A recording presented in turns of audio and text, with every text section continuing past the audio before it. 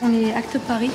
Nous sommes venus vous donner un cours de prévention sur le sida parce que l'État français est incapable de nous informer.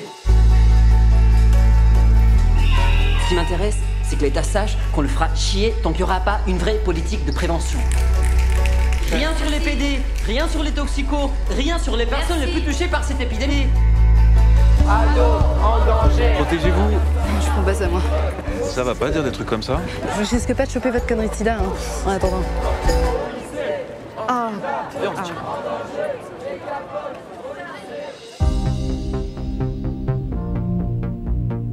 T'as quel âge?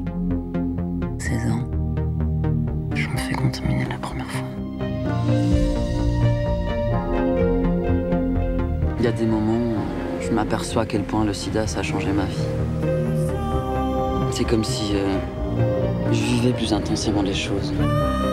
Plus de couleurs, plus de bruit, plus de vie.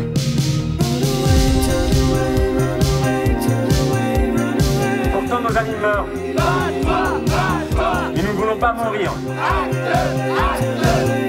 Nous vivons le sida comme une guerre.